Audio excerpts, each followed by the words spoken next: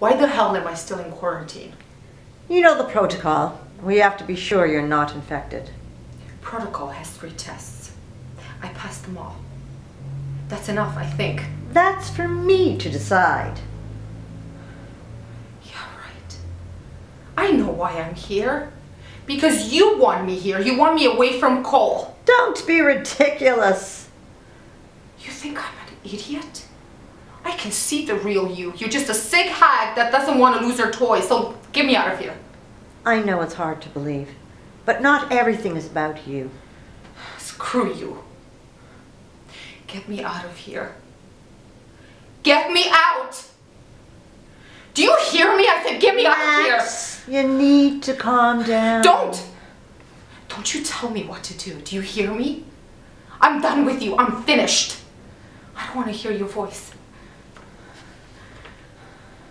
Unless it's begging for mercy. You're really not helping your case. You've already decided my case. Right?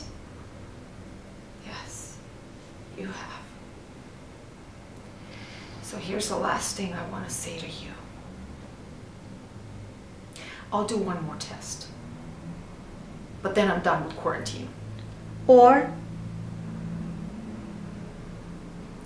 Or I'll fight my way out. you wouldn't get far. That's right. I wouldn't. But I'll fight. And I'll die trying.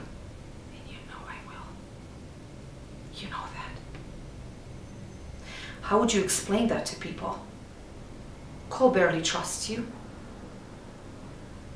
What do you think killing me will get you? This is just a game for you, isn't it? One you can't possibly win. No, I won't. But you lose. That's enough for me. Trust me.